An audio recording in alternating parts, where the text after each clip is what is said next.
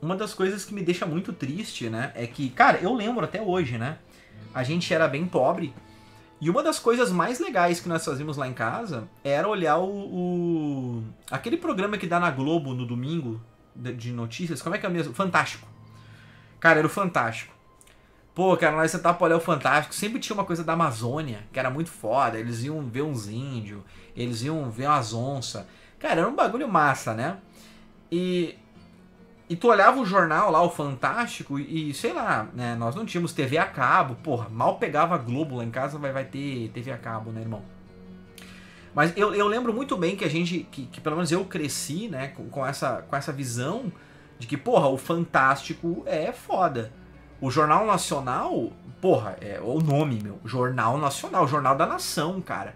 Não, não tem como esses caras tá mentindo para mim, não tem como esses caras tá manipulando alguma coisa. E eu lembro que eu olhava tudo aquilo que a gente olhava sobre as guerras, sobre as coisas, sobre a Amazônia, sobre não sei o que lá. Cara, porra, eu. Pra mim aquilo era a verdade absoluta, né? E tu vê que com o passar do tempo, como as pessoas têm entrado em descrença com a grande mídia. E isso me deixa bem chateado. Eu realmente gostaria que a Globo continuasse sendo aquela, aquela parada isenta, aquela parada Uh, pelo menos ao, ao, meu ver, né, voltasse aquela parada isenta que passasse apenas fatos e não ideologia. Mas aí tu vê como, por exemplo, agora, as queimadas na Amazônia, elas estão recordes, né? O Peter do Ancapso fez um vídeo uh, hoje falando sobre esse assunto, até preciso mostrar aí para vocês, eu acho que vai ficar até mais fácil, né? Uh, e... Ancapso, né? Ele fez um vídeo hoje sobre esse assunto que eu realmente achei muito bom, que foi sobre as queimadas na Amazônia, né? Deixa eu ver aqui. Ó, oh, ele comentou aqui, ó. A morte da TV e da esquerda. Interessante, hein? Interessante, hein? Uh, aquele gráfico que a gente mostrou aqui na live também, ó. Legal, cara, legal. Legal saber que legal saber que as nossas menstruações estão uh, sincronizadas, né? Mas cadê o Aqui, ó, a, a, as queimadas na Amazônia, né? Ele tava mostrando aqui as, as queimadas na Amazônia, né? E aí ele, ele, ele tá mostrando ali, ó, ele mostra, ó, era assim, né? Era assim, né? é isso que era, e ficou assim. Olha como tava a Amazônia, olha como tava a Amazônia quando era o governo do genocida, do nazista do Bolsonaro. Essas aqui são as queimadas, né? E esse, isso aqui não é um, um, gráfico feito pela revista Oeste, tá? Isso aqui são imagens de satélite da NASA, irmão. Tá? É imagens de satélite da NASA. Então não é como se eu tivesse tirado do meu cu um, um PowerPoint, aí um negócio e eu feito, tá? Isso aqui é quando tava o nazista do Bolsonaro e agora o governo do amor. Agora, agora as árvores estão morrendo, mas elas estão indo pro céu, elas estão virando purpurina, elas estão virando carinho. Elas estão virando nuvens feitas de algodões doce, onde nós vamos voar com os nossos pôneis num arco-íris feito de bala de goma e viver felizes para sempre. Então, tipo assim, isso que é foda, né? Tipo assim, eu esperava o quê? Eu esperava que essa notícia passasse no Jornal Nacional, passasse na grande mídia. Mas tu acha que essa notícia aqui, de que tava assim com o Bolsonaro e agora tá assim com o Lula, cadê a Greta? Cadê o. O Peter fala isso, né? E a gente já fala isso aqui também há tempo. Cadê a Greta? Cadê o Leonardo DiCaprio? Cadê a galera? Ah, não, aí. Ah, então, não, calma, pera aí, veja bem, pessoal. As árvores morriam antes. As árvores morriam antes e elas tiravam nuvens de, de, de, de né? Era, era, era nuvens ali que gerava problemas, né? Da fase, causava câncer. Agora, veja bem, agora elas estão sendo queimadas, mas não, estão indo pro céu, né? Então, porra, cara, então, tipo assim, a gente vê. E a dúvida que a gente. Ô, ô Rafael, já vou ver os projetos. A gente fica pensando, cara, e eu bato nessa tecla já há bastante tempo, que eu fico pensando assim, porra, cara. E lá na época do Collor, quando o Collor roubou o dinheiro de todo mundo, minha família, todo mundo desempregado, o pessoal passando fome, tava uma pica. E a, a, a grande mídia falando o quê? Tá tudo tranquilo, tá tudo bem. E agora o silêncio da grande mídia é ensurdecedor. Eles não estão falando que a economia tá uma merda. Eles não estão falando que as queimadas na Amazônia estão pior. Eles não estão falando. Lembra dos, dos Yanomami? Lembra dos Yanomami? Meu Deus, os Yanomami parecia que, meu Deus do céu, Bolsonaro tava indo lá matar os Yanomami. Os Yanomami continuam morrendo, cara. Os Yanomami continuam morrendo. E aí tu vê a Miriam Leitão lá da grande mídia. Porra, cara, eu, eu, eu nunca entendia de economia quando eu era pequeno, mas eu gostava de olhar de Globo. Aí vem a Miriam Leitão e fala assim, ó, que 10% de inflação O que vocês têm que entender, pessoal, que 10% de inflação afeta mais o rico. Ela fala. Aí tu pega que 10% de inflação, aí tu pega o rico ganha 50 pau por mês, aí tu tira menos 10%. Aí o rico ganha 45. E o pobre tira 10%, perdeu 132 de poder de compra. Ela fala, veja bem, a inflação afeta mais o rico.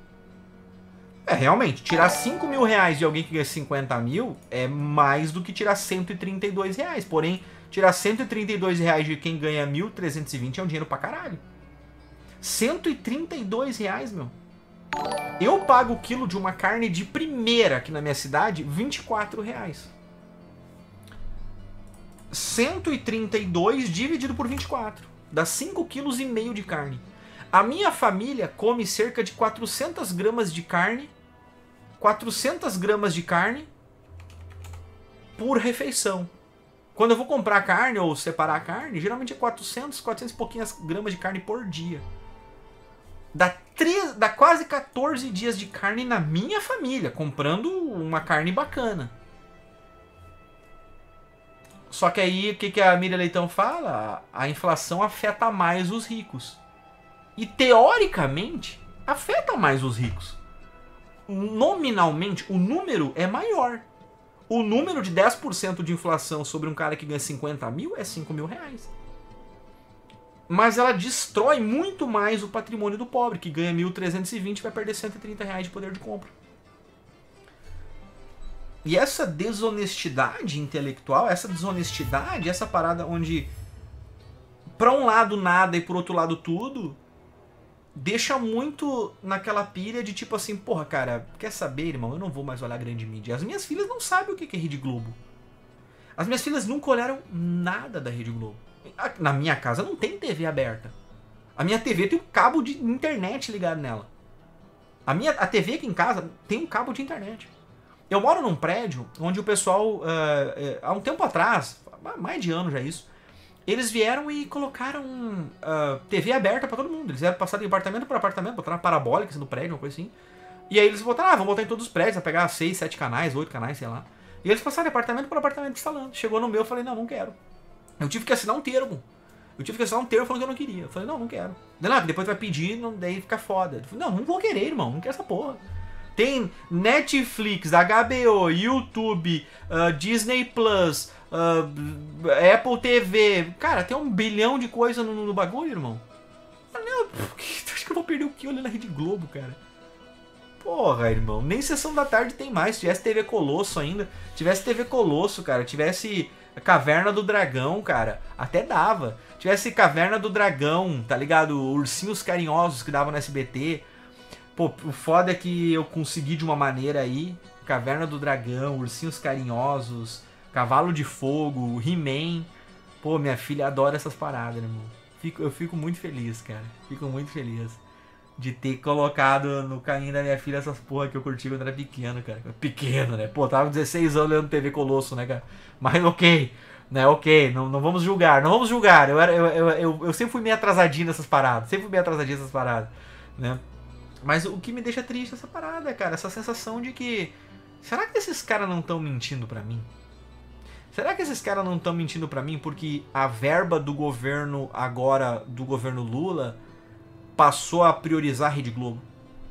E, e, milhões e milhões e milhões e milhões a mais do que o Bolsonaro dava. Não, não, não te deixa você com o pé atrás em saber que, ah, por isso que eles estão defendendo tanto o Lula?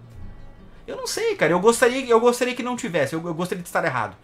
Eu gostaria que fosse idôneo, que fosse transparente, que passasse fatos, que criticasse o governo.